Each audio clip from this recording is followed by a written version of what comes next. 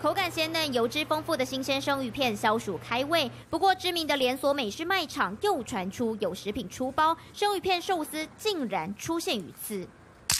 民众在脸书抱怨买了一盒生鱼片寿司，但自家小孩却吃到一根两公分长的鱼刺，引来不少网友留言。有人说吃到鱼刺真的会爆气，生鱼片没有刺是基本要求；也有人说鱼肉好吃，但卖场真的要检讨。还有网友质疑八岁孩童能吃生食吗？让留言区一度大歪楼。不过有餐厅业者就说，相较其他种类，鲑鱼确实比较容易出现鱼刺。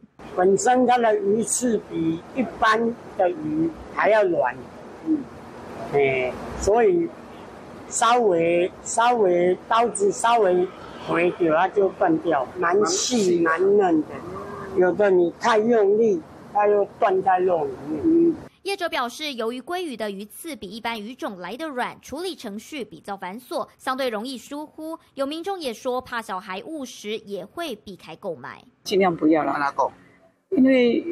小孩子以后也会有心理阴影啊，嗯他已经一一定吃到的话，就是对这个嗯有一个阴影在啊。其实鲑鱼才会，其他的鱼一般都不会，也不是说每次吃都会吃到啦，几率很低啦。幸好鱼刺没有造成危险，只是知名美食卖场食品安全频频出包，若不严格把关，造民众怎么能放心？民事新闻陈从汉综合报道。